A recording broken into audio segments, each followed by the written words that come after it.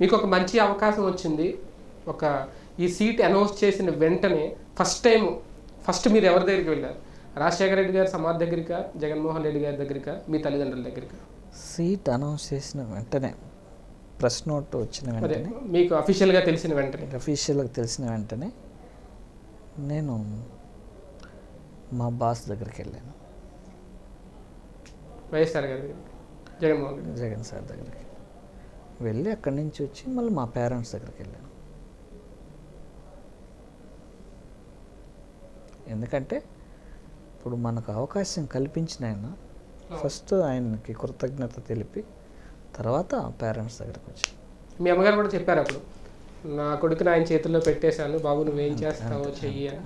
ఆయనే చేస్తాడని నేను వదిలేశాను ఇప్పుడు ఈ అవకాశం ఇచ్చారు. ఎవరైనా ఆ రోజు చెప్పిన నేను నాయనా. నాకు ఒక్కగాని ఒక బిడ్డ నీ ఇష్టం నీ చేతిలో పెట్టినా నువ్వేమన్నా చేయి నాయనా అని చెప్పి వదిలిపెట్టేసినాను ఎందుకంటే ఇప్పుడు నేను కంప్లీట్గా ఆయన నమ్ముకున్నా. ఆయన ఏ పని చెప్పినా చేస్తా.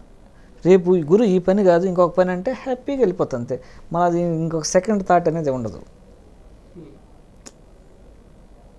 ఎందుకంటే ఆయన ఏది చేసినా మంచి చేస్తాడు. ప్రతి మనిషిలో మైనస్లు ఉంటాయి ప్లస్లు ఉంటాయి. జగన్మోహన్ రెడ్డి గారి విషయంలో మీకు నచ్చని విషయం ఏంటి అంటే? నాకు ఏం లేదు నాకు అన్నీ నచ్చుతాయి అనేది ఏం చేసినా ఆయన ఏం చేసినా? ఆయన ఏం చేసినా నాకు నచ్చుతుంది. మీరు ఒక భక్తుడు కాబట్టి ఆయనకి ఆయన ఏం చేసినా మీకు నచ్చుతాయి.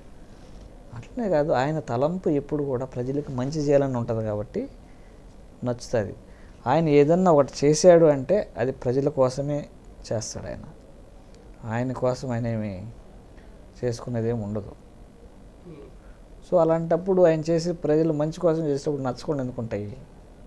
ఆయన విషయంలో మీకు ఏమి ఎక్కడ కూడా ఒక చిన్న పాయింట్లో కూడా. ఎక్కడో కూడా. చిన్న పాయింట్లో కూడా ఎక్కడ? చిన్న పాయింట్ కూడా. ఏం లేదు. ఏం లేదు.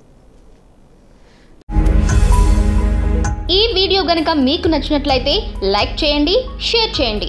మరిన్ని వీడియోస్ కోసం మా ఛానల్ను సబ్స్క్రైబ్ చేయండి.